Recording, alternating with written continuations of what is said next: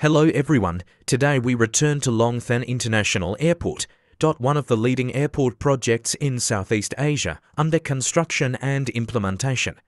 With the level of construction being so excellent, today we will learn more about how our Long Thanh Airport, one of the locations operating and transiting goods for the world, is like.